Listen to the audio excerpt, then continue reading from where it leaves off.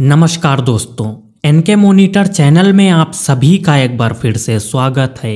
दोस्तों, आचार्य चाणक्य ने अपनी नीतियों में पुरुषों के लिए कुछ खास बातों का उल्लेख किया है।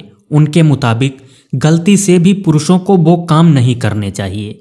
इन्हें जानने के बावजूद, अगर कोई लड़का या पुरुष ऐसे काम करता है तो उसकी ज़िंदगी में उसका पतन शुरू हो जाता है।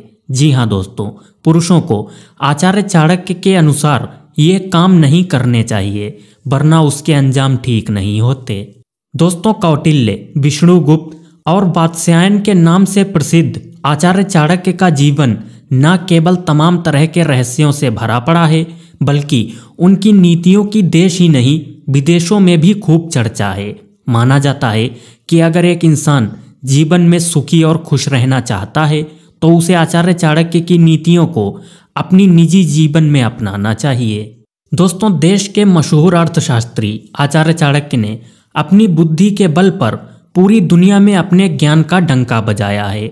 मानव जीवन से जुड़ी कई अहम बातों का उन्होंने अपनी नीतियों में ज़िक्र किया है, जिनका अनुसरण करने से पुरुष ही नहीं, महिला का जीवन भी सुखी व्यतीत हो सकता है। राजनीति और कूटनीति के महान ज्ञाता चाणक्य ने महिलाओं के साथ साथ पुरुषों के लिए कई ऐसी बातें कही हैं, जो उनके निजी जीवन में उत्थान और प्रगति का शानदार कारण बन सकती हैं। आचार्य चाणक्य ने अपनी नीतियों में पुरुषों के कुछ खास बातों का उल्लेख किया है, जिनके मुताबिक गलती से भी पुरुषों को वो काम नहीं करने चाहिए। तो चलिए दोस्तों, आज के इस वीडियो में हम आपको इसी के बारे में ज़रा विस्तार से बताएँगे।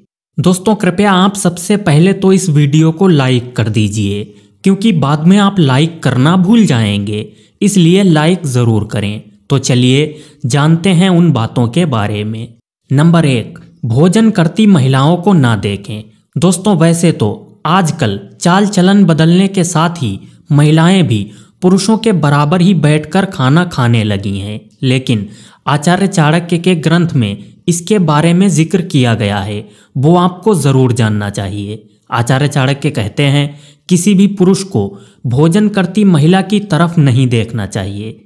ये शिष्टाचार के खिलाफ होता है और भोजन करती महिला भी असहज हो जाती है और ठीक से खा भी नहीं पाती। नंबर दो, कपड़े संभालती महिलाएँ। दोस्तों, अक्सर आपने देखा होगा कि अगर कोई महिला या लड़की अपने कपड़े ठीक कर रही है तो उसकी तरफ़ पुरुषों की नज़रें ज़रूर जाती हैं।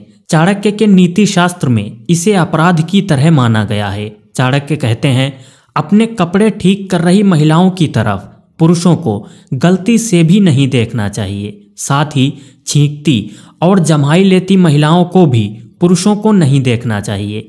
ये पुरुषों की मर्यादा के खिलाफ होता है। नंबर तीन श्रृंगार करती महिलाओं को ना देखें। दोस्तों, कई बार महिलाएँ जब श्रृंगार करती हैं तो पुरुष एक टक उन्हें देखने लगते हैं। पुरुषों को ये नहीं करना चाहिए। खासकर काजल लगाती महिलाओं को पुरुषों को नहीं देखना चाहिए। इतना ही नहीं, खुद की या फिर बच्चे की तेल मालिश करती महिलाओं को पुरुषों को देखना उचित नहीं माना गया। दोस्तों, आचार्य चाणक्य की नीतियों में बताई गई इन बातों का अनुसरण करने से पुरुषों को समाज में बहुत मान सम्मान मिलता है। दोस्तों, आज का वीडियो बस यहीं तक। हम आशा करते हैं आपको वीडियो पसंद आया होगा। वीडियो पसंद आया है तो वीडियो को लाइक ज़रूर करें, साथ ही अपने दोस्तों में इसे शेयर करें। और रोज़ाना इसी प्रकार के वीडियोस देखने के लिए हमारे चैनल को सब्सक्राइब करके बेल आइकन ज़रूर दबाएँ। दोस्तों, मिलते हैं एक इसी प्रकार के अगले वीडियो में। तब तक के लिए goodbye. and thanks for watching my video.